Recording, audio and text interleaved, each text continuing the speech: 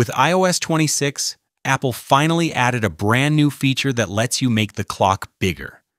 And it's easier than you think. In this video, I'll show you step by step how to resize the clock on your iPhone's lock screen, so make sure you watch the video until the end. I'm currently on my iPhone's home screen, and I'm going to lock my device by pressing the power button.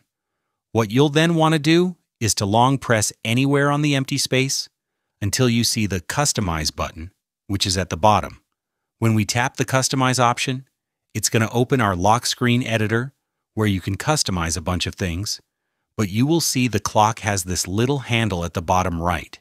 So just long press this handle and swipe towards the bottom, and the clock is going to become bigger and bigger. When you set your preferred clock size, tap on Done, and then your changes will be saved.